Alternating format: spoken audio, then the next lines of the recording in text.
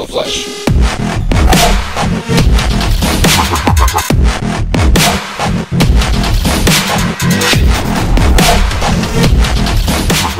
All right, man. Thank you, Jack on What do you think about that? That was awesome.